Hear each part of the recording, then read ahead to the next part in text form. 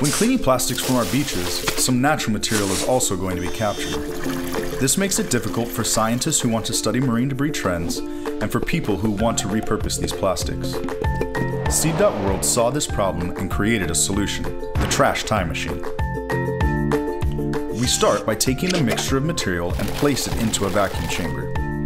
A screen is placed on top to hold the material down, and then water is added until everything is fully submerged. A pump is then used to pull the air out of the chamber and everything in it. Besides the air that is at the top, there is also dissolved air in the water and small amounts within the cells of the natural material. Think of those cells as thousands of tiny air bubbles that are helping the material float.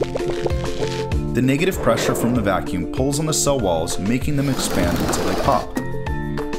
After a few minutes, the pressures return to the chamber while the natural material now separates to the bottom. Inside the chamber, we are drastically speeding up the amount of time it takes for the natural material to become waterlogged by forcing the air out and water in. Normally, when natural material is left in water, it takes a long time for its cells to break down, absorb that water, and then sink.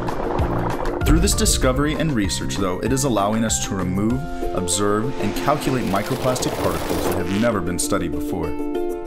By just using water, this modular process can be used by anyone and allows us to put the natural debris back on the beach where it belongs, and the plastics can then be repurposed. We encourage everyone to create their own system and to visit seed.world to learn more about how we can help give back time to our environment and future.